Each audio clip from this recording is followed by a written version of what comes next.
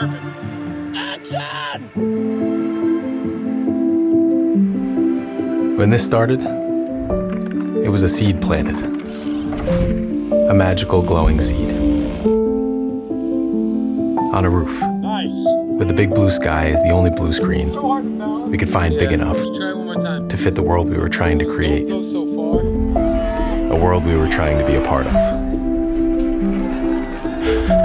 Eventually, we built our very own blue screen, our idea of Hollywood, in a garage in Ashaway, Rhode Island. Now that's feet first. Making films for me We used it to make some questionable a decisions, way of life. and then moved to a big green blanket and made a few more. Until one day, it was time to find better backdrops, bluer skies, bigger horizons. The world taught us how to make videos, how to search for beauty in ugly places, or expose ugliness in a beautiful way, to keep searching for one more shot. The cameras got bigger, then they got smaller, then bigger again brides and grooms, agencies, brands. They all took a chance on us.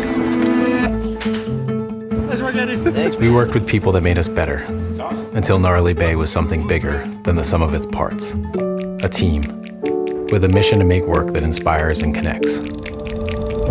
At first, we had to act in the commercials, Dude, you can't laugh. I'm trying not to. and then it was family and friends until we got to cast real talent. Got all this for twenty dollars? Yep. Dude, teach me. work with real storyboards, real props, on real sets, with real lights. Eventually, it was making work that breathed life into all kinds of ideas, old and new. Work that emotes, maybe through laughter or nostalgia, kindness, or love. Sometimes through overcoming tragedy or heartbreak or maybe through courage or perseverance. We're always searching, seeking for another way to communicate through this medium, old as time. Story. We set out to make stories. Stories of humanity, or family, or friendship. Stories about compassion or hope. Stories about dreams. So when people ask what Gnarly Bay is, where did the name come from?